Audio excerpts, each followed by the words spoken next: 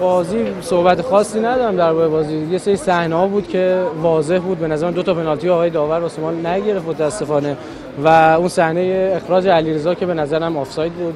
و اونم نمی‌دونم تمرکز نداشت کمک داد چه اتفاقی افتاد متاسفانه نمی‌دونم.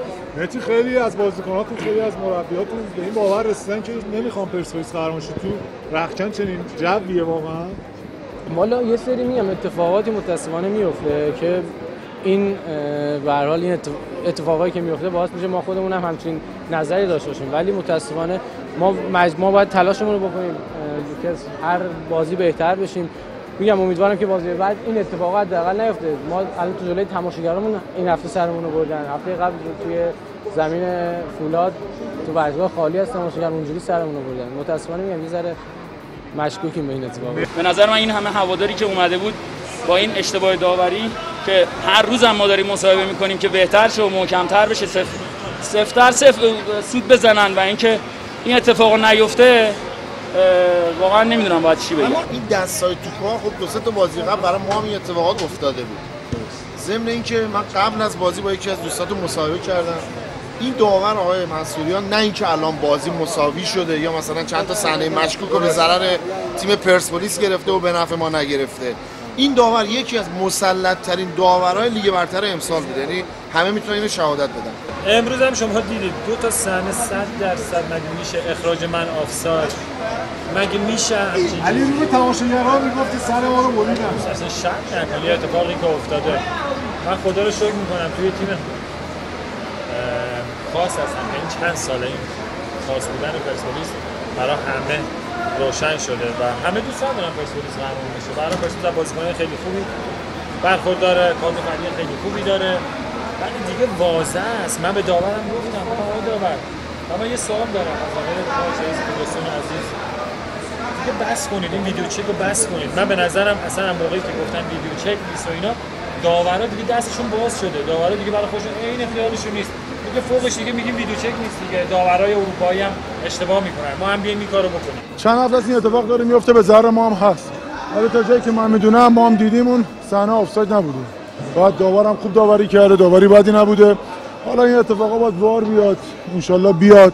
ما هم دعا می‌کنیم که بیاد. انشالله میاد. بی ارزه ترینیم برای آوردن بی ایار شما شک نکنید. حالا حالا نمیاد فقط میرن میشینن جلسه می‌ذارن شعار میدن بی ایار مگه پنج سال ده سال پیش اصلا بحث بی ایار بود؟ اینو کردن بهانه. هر غلطی دلشون می‌خواد دارن می‌کنن. ولی واقعا متاسفم برای فدراسیون برای کمیته داوران برای هر کی تصمیم گیرنده به هدفشون رسیدن. خان شما بر این باور به این باور رسید که دوست دارن یه تیم خاصی قهرمان شه اصلا بحث خاصی دلشون می‌خواد پرسپولیس قهرمان نشه. به نظرم تو روزی که بچه‌هامون واقعا زحمت کشیدن تونستی بی امتیاز هم از تیم پرسپولیس بگیره. خب پرسپولیس همیشه پرسپولیس بازیکناشون چند سال کنار هم بازی می‌کنن مربی بزرگی دارن.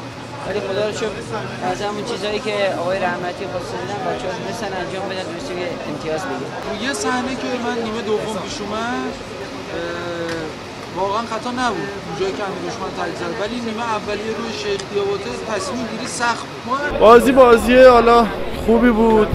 بازی خوبی داشتیم. دو, دو تیم خوب داشتن. فوتبال بازی می‌کردن. ولی خب یکم اعتراض بیش زیاد می‌شد تو بازی. این اعتراضا مثلا نمی‌ذاره اون کیفیت فوتبال بره بالا. یه سری باز پرسپولیسی که به شدت اعتراض داشتن به داوری. خود داوری چطور؟ داوری حالا خوب بود. بد نبود بگیم که مثلا خیلی بد گرفت و اینا. ولی نیمه دوم یه ذره بد به نفع ما زد. یعنی به ضرر ما بود. ولی خب اون اعتراضی نداشت. آقای بینامند زد دیگه پاشم زخم شده بود. اعتقاد داری اخراج داشتی؟ 100 درصد. دو تا قرمز با داور بهش می‌دادن نظر من. و این همه اعتراض آفساید.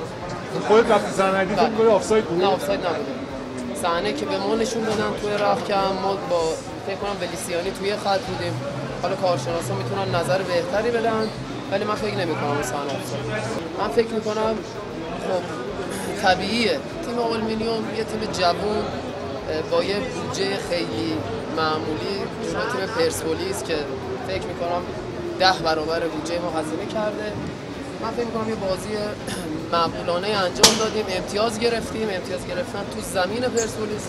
برامون خوب بود. خدا شکر. امیدوارم که حداقل تو زمین آزادی حق ما رو بدن. حقمون رو بدن. نمی‌خوام حال بدن حقمون رو بدن.